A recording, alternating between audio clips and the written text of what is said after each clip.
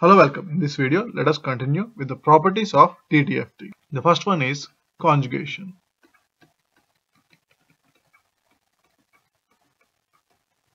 The conjugation property, the DTFT of the conjugate of the original signal x of n, it is DTFT of x star of n or x conjugate of x of n is equal to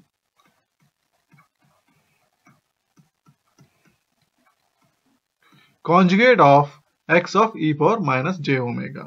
That is, you replace omega with minus omega and also you apply conjugation on the resulting function.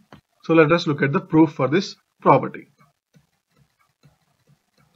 Starting with the LHS, that is f of x conjugate of x of n conjugate, x of n conjugate is equal to, by definition, the sum x x of n conjugate multiplied by e power minus j omega n which can be rewritten as summation x of n multiplied by e power j omega n whole conjugate which is equal to x of e power minus j omega because clearly here we have minus of minus omega so which is x of e power minus j omega and then we have the whole conjugate. Therefore the DTFT of conjugate of, of a sequence x of n is equal to x of e power minus j omega conjugate. That is conjugate of the DTFT where omega is replaced by minus omega. The next property is folding. That is the DTFT of x of minus n that is the time index n is replaced by its into inverse that is minus n eh, then is dtft of x of minus n is equal to x of e power minus j omega. That is in frequency domain omega is uh, replaced by minus omega. So the proof is actually straightforward. Let us look at the LHS by definition this is equal to sum x of minus n e power minus j omega n and now by using a new variable m which is equal to minus n it is by defining a new variable m which is equal to minus n then we have the sum with the index m x of m into e power j omega m. And this is equal to by definition of the DTFT x of e power minus j omega. Because omega can be written as minus of minus omega. So by definition this becomes DTFT where omega is replaced by minus omega. So by definition of the DTFT, the DTFT of x of minus n that is folded signal is equal to DTFT where omega is replaced by minus omega.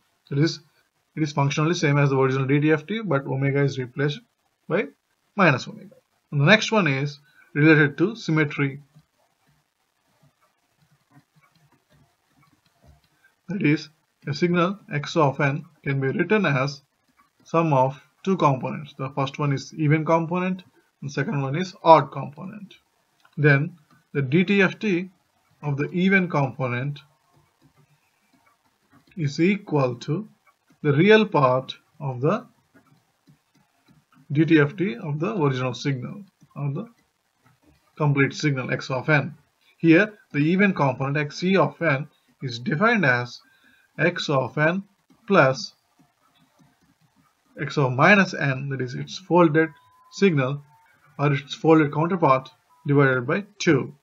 So by using this definition the DTFT of xe of n is equal to the sum over n's xe of n e power minus j omega n which becomes the sum n the summation with n from minus infinity to plus infinity x of n plus x of minus n over 2 multiplied by e power minus j omega n.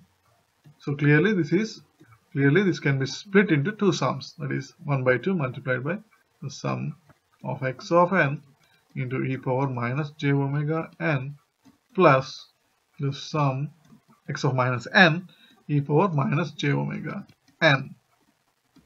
and this is equal to 1 by 2 and this is by definition the dtft of x of n so it is x of e power j omega and we just learned that this summation is the dtft where omega is replaced by minus omega and this is equal to real part of x of e power j omega. This is because the imaginary component of x of e power j omega will cancel with the imaginary component of x of e power minus j omega. Therefore, the dtft of the even component of the signal is equal to the real part of the x of e power j omega that is the original dtft. Next part of the property is the dtft of the odd component x o of n is equal to j times the imaginary component of x of e power j omega. So starting with the LHS, the summation n xo of n into e power minus j omega n is equal to, by definition xo of n is equal to x of n minus x of minus n over 2. So by using this definition, this should be equal to 1 by 2 the sum x of n minus x of minus n multiplied by e power minus j omega n which is equal to 1 by 2 into first component is x of n into e power minus j omega n which is basically x of e power e power j omega. That is the dtft and the second one is minus x of e power minus j omega because it is x of minus n into e power minus j omega n which is x of e power minus j omega therefore this should be equal to 1 by 2 and the real components in both x of e power j omega and x of e power minus j omega cancel each other and we are left with the imaginary components 2 times j into imaginary component of x of e power j omega. Therefore, the dtft of the odd component xo of n is equal to j times the imaginary component of x of e power j omega.